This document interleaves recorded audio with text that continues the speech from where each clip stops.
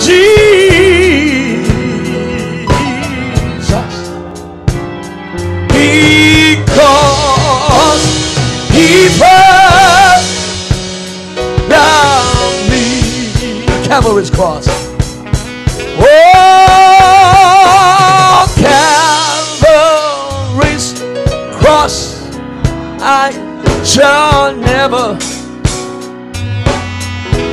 You know the song? Some of you didn't even help me to sing it. Calvary's cross.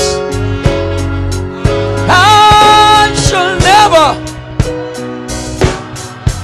Hey, take this down. Calvary's cross. Take the bowling off.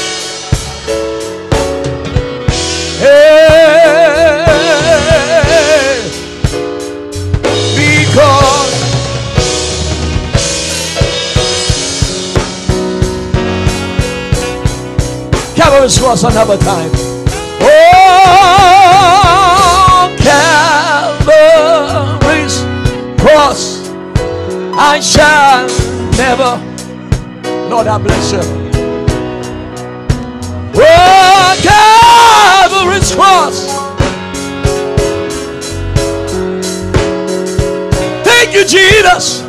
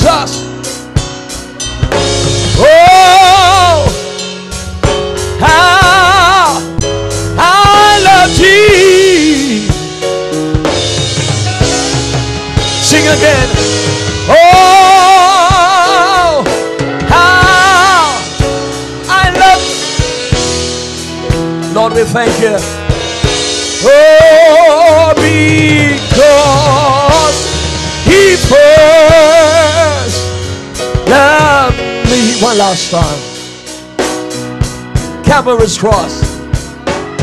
Calvary's cross. Bless the name of Jesus. Calvary's cross. I shall never.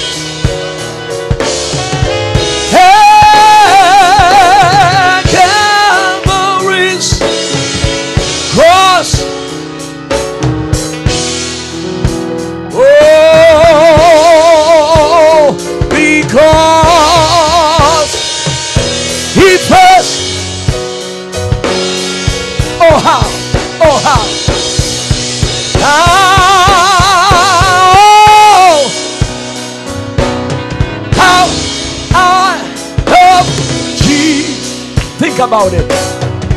Hallelujah. Oh, glory.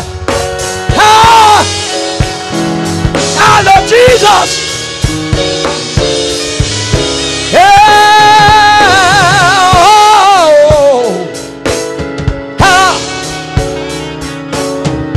Hallelujah, hallelujah, hallelujah. Oh, because one last time. Oh, how. Everybody, come on from the deep of your hearts.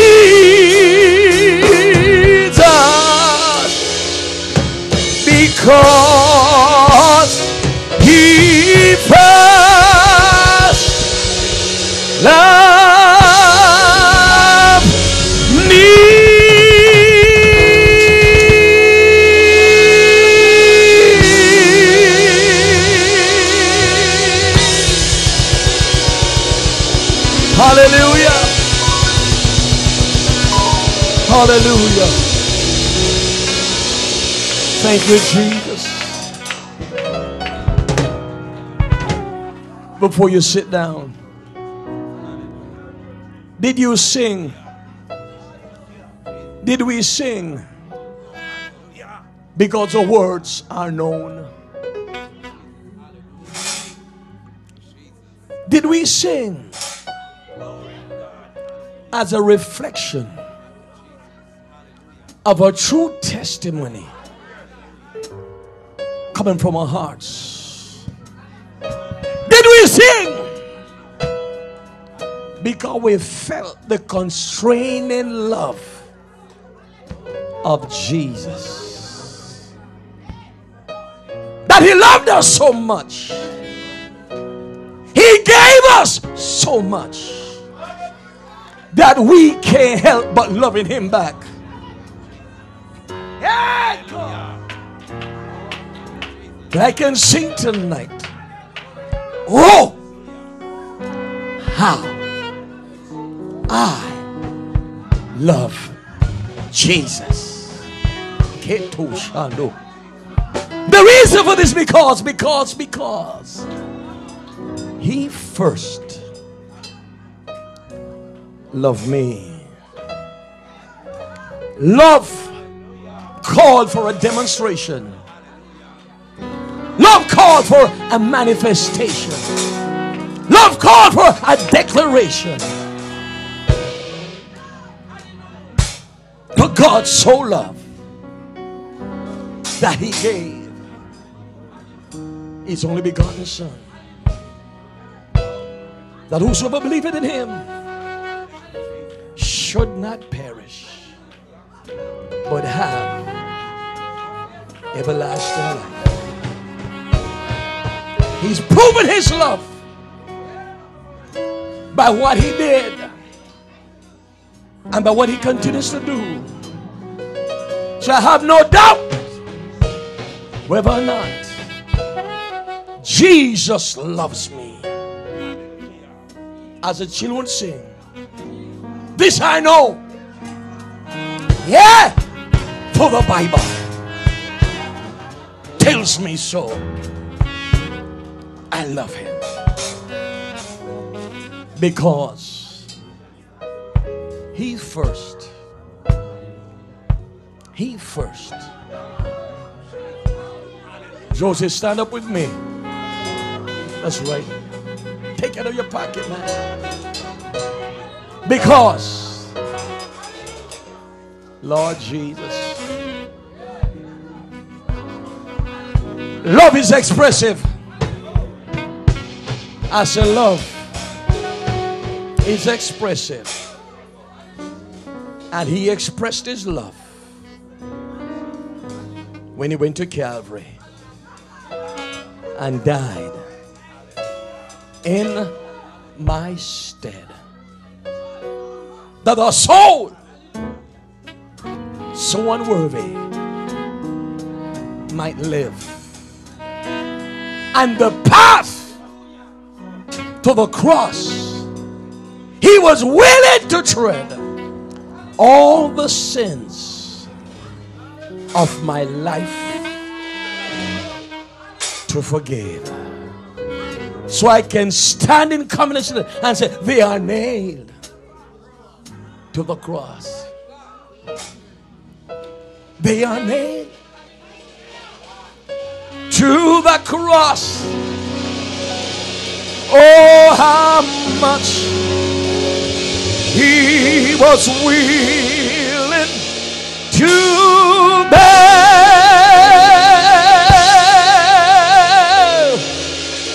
With one heart. We shot lost. Jesus went to the cross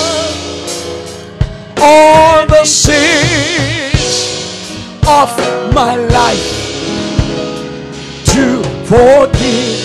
Sing it one last time. You're coming into this. Their name is on the monitor to the cross. They are nailed. Hallelujah.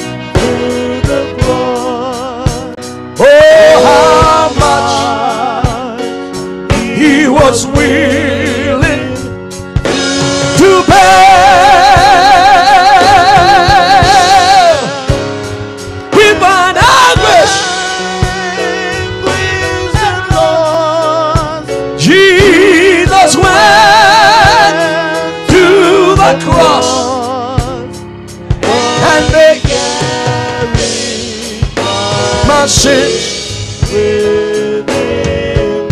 one last time. I think it goes like this. There was one who was willing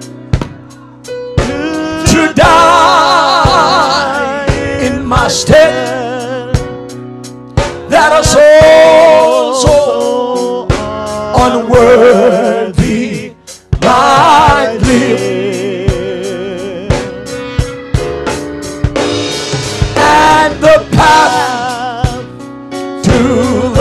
Cross, he was willing to tread all the sins of my life.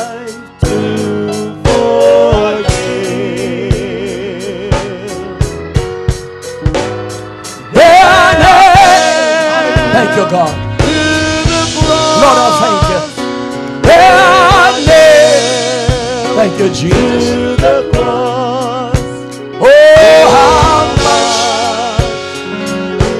Was willing to bear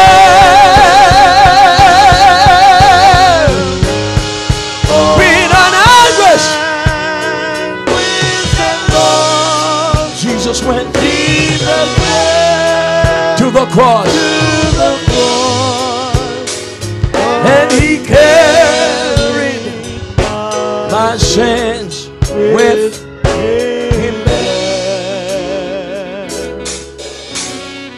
I think they used to say, He is patient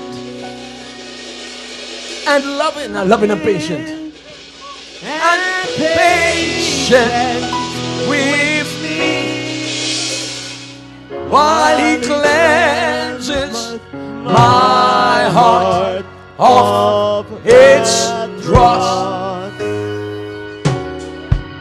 This is what it's good, but there's no condemnation. For I know I am free, for my sins are all nailed to the cross. Yeah, they are nailed to the cross. They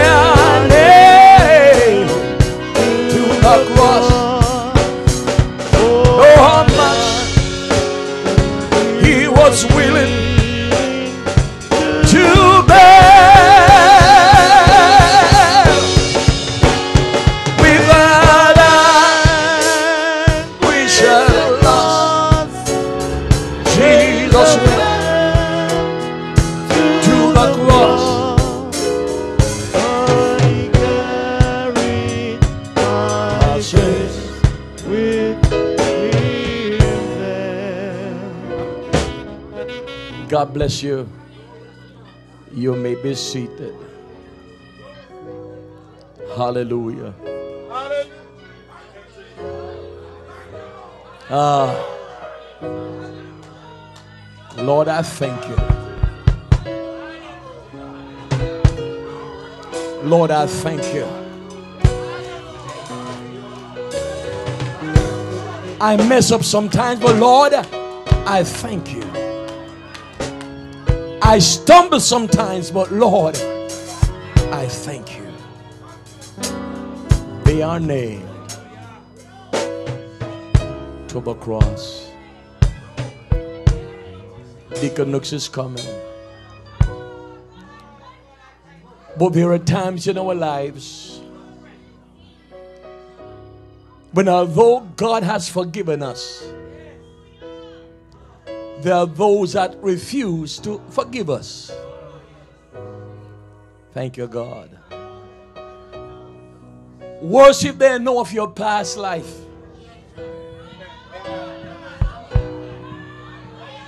Glory, I thank you. Worse if they knew you used to do some stuff. They don't see you through a right now glass. But they pick up a past glass They start to turn the pages of your past life and try to remind you of what you were like. But the word said, Deacon, Deacon Carr, there's no condemnation. For I know for all the sins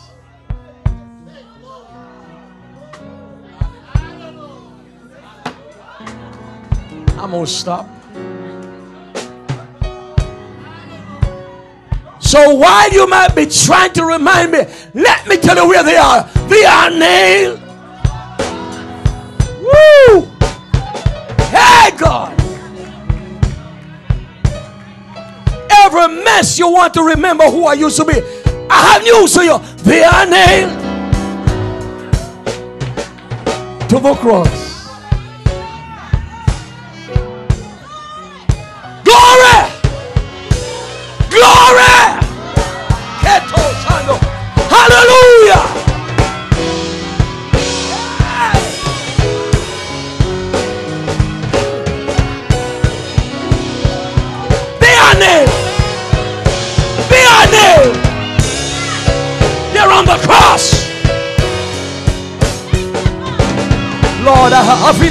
Tonight with a spirit of gratitude. Yeah, with a spirit of thanksgiving. Glory. Thank you, Jesus. Help me, God. Don't try to take me back to my past. Be name the cross. He carried all my sins and he nailed them to the cross. Hallelujah. I don't know how you feel tonight. You see, some of us might not have had any bad thing in our past. So you can be grateful. But if we would be truthful tonight, there are some things in our lives. As a matter of fact, everything in our past life. We would not have been able to survive until now if they had not been nailed to the cross. Lord, I thank you. I am grateful. I'm appreciative, Lord, for what you've done. God bless you as we sit prayerfully and as Deacon Nooks comes, want us not to forget had it not been for the old rugged cross, had it not been for the spotless blood of the Lamb of God had it not been for a body that was broken. Hallelujah. He spilled his blood on Calvary's cross to purchase our salvation. So, God, I want you to know tonight that I thank you for the job that you did. I thank you where you brought me from. I thank you. Hallelujah for everything you've done. I'm going to thank you, Lord. I'm going to praise your holy name. Oh God. We're not going to sing it. But if we had a time, Brother Joseph, that's right. If we had time, I would sing Jesus. I never forget what you've done for me. Jesus, I never forget how you set me free. Jesus, I never forget. Where you brought me, how you brought me up. Jesus. Jesus. Jesus. Jesus. I never forget. Oh, never. Hallelujah. Glory. Our men's president. Ah, comes up.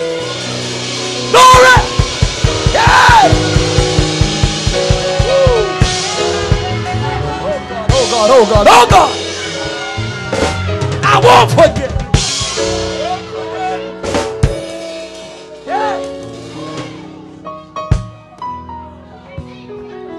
Hallelujah, Jesus. God, I thank you. Hallelujah, Jesus. Hallelujah, Jesus. God, I thank you. God, I bless your name. God, I bless your name. God, I bless your name. God, I thank you. Why should I feel discouraged? Why should the shadows come? Why should my heart feel lonely and long And Lord, for heaven? ah, yeah. and home. thank you, Jesus. When Jesus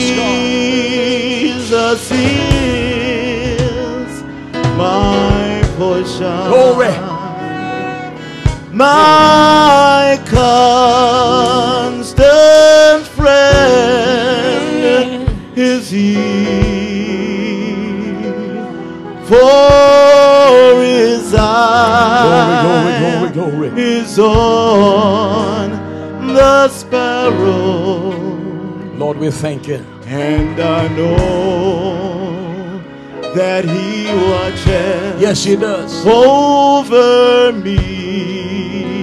Thank you, Jesus. For His eye, His eye. is on the little sparrow, God, I thank you. and I know, I know, I know. He watches. Lord, I praise your name. That's why I can see. I sing. Because I'm happy. That's why I I can sing. sing. Because, Because- I'm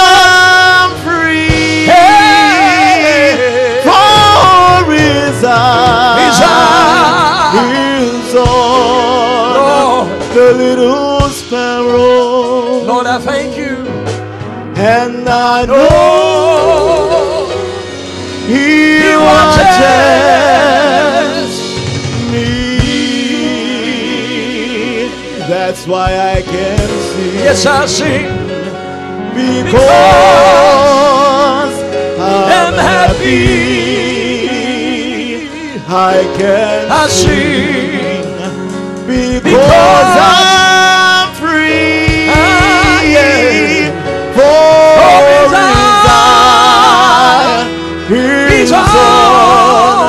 the little sparrow. And, I know, yes, I know,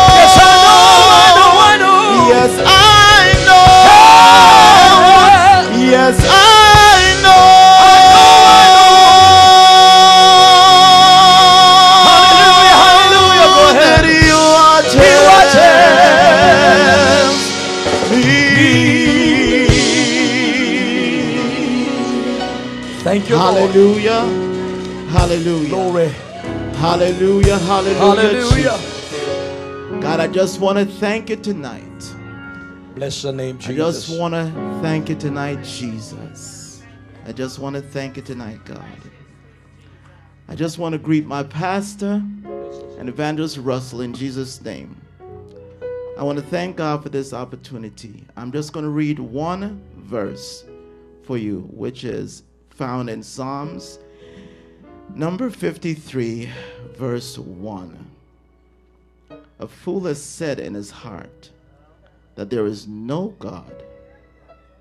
Corrupt they are, and have dumb, done abominate, abominate, abominable, sorry, iniquity. There is none that doeth good. God, I thank you. You know, it's a very short, very short verse, but it says a lot in it. A fool has said in his heart, There's no God. Now, I was just reading a little notation at the bottom of my Bible and was talking about what a fool is. A fool does not mean that the person does not have any sense, that the person is not educated.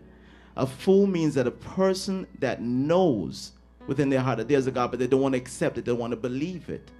A fool is someone that decides that they're not going to believe that there's a God so, they can find some way to cover what they're doing, to give them an excuse to do what they're doing, just to say, okay, there's no God, so I can do whatever I want to do, and I'm fine. I don't have to worry about some things. You know, I had a, I had a talk with a young lady at a bank the other day, and she said, oh, well, I'm going to hell anyway, so why not just go? You know, I looked at it and I said, my God, You've got to understand we're here. God has brought us into this world for a purpose. Our purpose is to worship Him, is to serve Him, is to honor. And what we're supposed to do also, we're supposed to take care of one another. We are supposed to be our brother's keeper. We're supposed to be there to help one another. But we find that, that we have allowed the adversary to come into our hearts and to steal, to rob from us that thing that God has promised us you know, he knows where he's going. He understands and he recognizes that he has lost out on what he could have gotten. But because of his selfishness and greed, because he, you know, he wanted to get everything for himself, he wanted to get all the praise for himself. But because of that, he recognized what he has done, and that's why he is doing what he is doing to us today. We look in our system today because, you know, they have tried to take God out of every thing that we do. To say that it's not necessary to worship God, it's not necessary to go to church. All you've got to do is to read your Bible and you're fine. But the Bible tells us, listen, where two or three is gathered together, touching anything that concerns him, there will his spirit be also. We have got to understand that we need to be together. There is a God that we need to worship. There is a God that we need to serve. It is foolish to think that we can live from day to day, not getting up in the morning saying, God, I thank you for this day. God, I thank you for taking me out and bringing me back safe because nothing is promised to me. I take this thing for granted. As I said earlier, I don't want to do this anymore. I don't want for something to come my way to help me to, to recognize listen, there is God. I need to worship Him. I need to give him thanks. Are times I just take it for granted. I'm going to get up the next morning. I'm going to wake up. Everything is going to be all right. I'm going to get my car. I'm going to drive to work and everything is going to be all right. Not so. It is not promised to me. That's why every day that I live, every moment that I breathe, I've got to say, God, I thank you because I recognize that there's a God there. I understand that there's a God to be served. I understand that there's a God to be worshiped. I understand that there's a life that I must live that is pleasing to God. I understand that my life must be a living testimony for someone else to bring them into the understanding that there's a God to be worshiped and one to be served. We have got to understand that our responsibility as, as individuals, as children of God, is to live a life that someone can see there is something different about that person. They will see you when you interact with them that there's certain things that you don't say that you don't do. Because of that, they're not going to come to you and they're not going to say certain things to you because they understand you have a standard that's different from them and they're going to they, they're going to respect you. But you have got to stand firm, recognizing that you are a vessel of honor, not one of dishonor. You have got to understand your purpose. Our purpose is to serve and to worship the living God that is there. We have proven it many times that there is a God to be worshiped. If we want proof, we look at the animals, we look at nature. Everything points back to God. These things cannot happen from a great bang situation. It's not possible. There has to be a being that created all of this. It does not make sense. As much as evolution has tried to identify and to say that there's no God, they cannot find a justifiable understanding or explain it to us. It doesn't make sense. They always stop at their toe because something does not add up. So we have got to understand that, listen, there is a God. There is a God. We know it because He lives within inside of us. How can we just come out of nothing, out of a, a, single organism and develop, evolve, as they say, with evolution? We look at evolution and we, we, we're saying, okay, I'm waiting all these years. I haven't seen us evolved yet. I haven't seen me evolved. I'm still the same man. I have not changed. The animals have not evolved. They're still the same. You know, we got to understand there is a God. There is a God, and we need to worship Him in spirit and in truth. And anyone that comes to us, we can show them in the Word. We can tell them, okay, look, just look around you, observe what you see. How could this happen? How could this be possible for this to happen this way? Not so. There has to be a greater power. There has to be someone there that has done this because the Big Bang just does not work. It does not work. It's not possible. It's not possible. I just want to thank God for this opportunity tonight just to say these few words to me. And you pray for me in Jesus' name. Amen.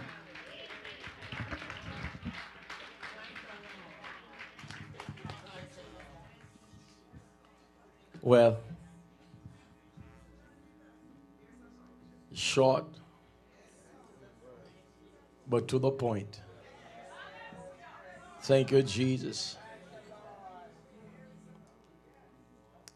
The fool had said in his heart. So we have to ask ourselves the question what classification have we fallen under?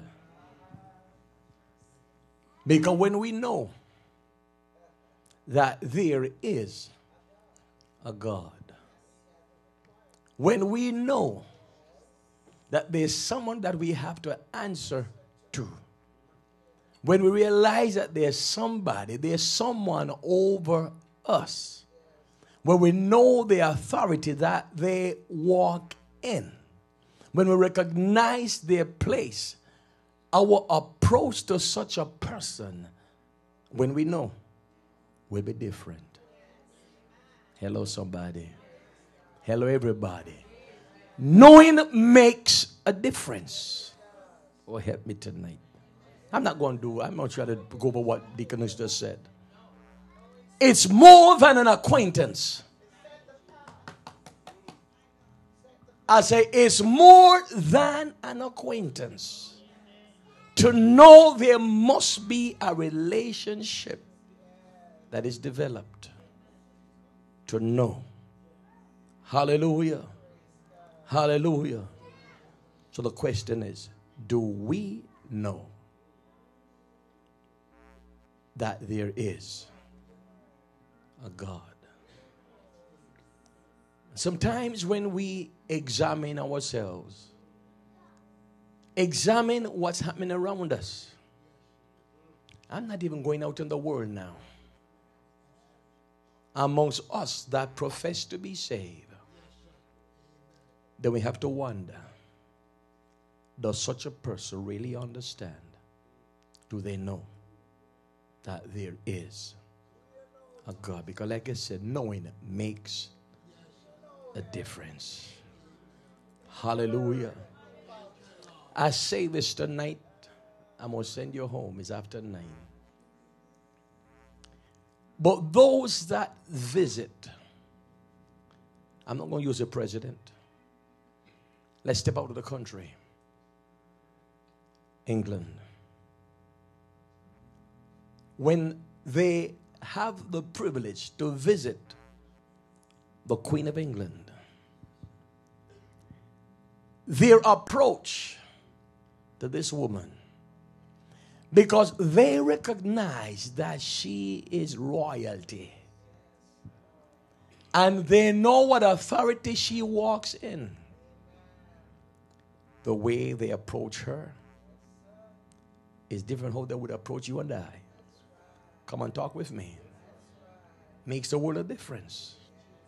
Hallelujah. Hallelujah. And by the way they approach her, her place as a queen is honored. And because her place as queen is honored, then she is also honored. Do we know that there is a God? Or are we classified?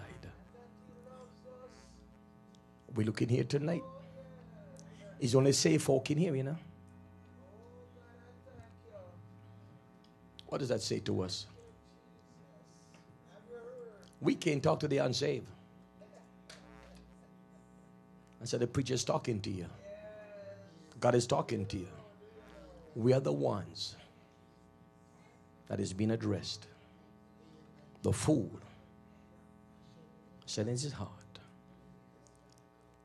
didn't speak out loudly for you to hear, but in their heart, they spoke and they said, There is no God. What does that say, Pastor? My outward action does not match what's in my heart. It's contrary. I say one thing, but in my heart, I act one way, but in my heart, but the fool said in his heart, There is no God. We don't have to speak it as there is no God, but by what we do, speaks, it says exactly what we are thinking. God help us tonight. God help me tonight. That my actions will match what my heart is saying. If my action look like truth, then what's being said inwardly must be on the same level. God bless you. Deaconess, God bless you. Amen. You said it all.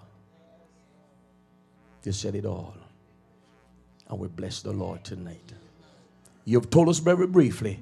Make sure that your actions matches with what is being said. Where the band is white. Hallelujah. My friend,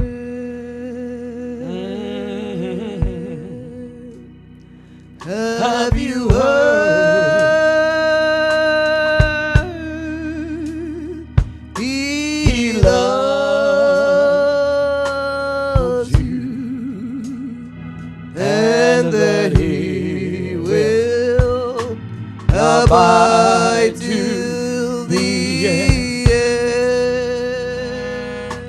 Hallelujah. Hallelujah. Do you know Thank you, Jesus. my Jesus? Do you know my Jesus?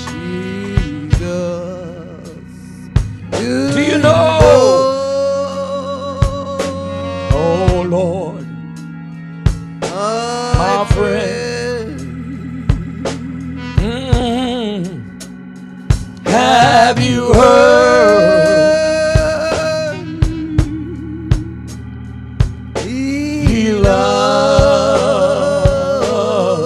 you, And they will abide to the end. Hallelujah. Do you know We're going home. my Do you know my Jesus?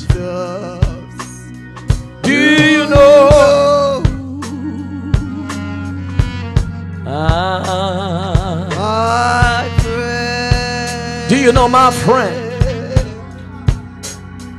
Have you heard?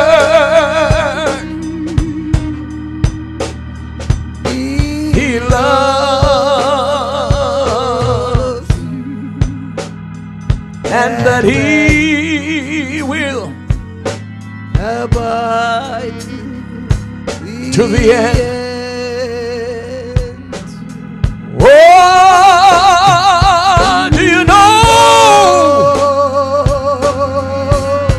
Bless the name of Jesus.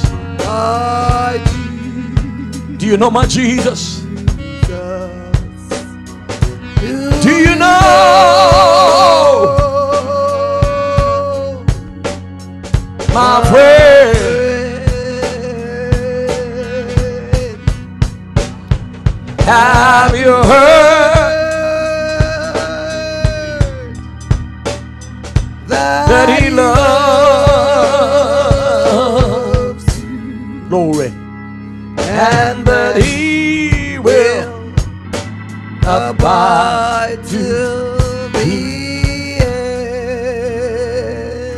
Stand with us, please? Do you know? Thank you, Lord. My G, my Jesus. Do you know?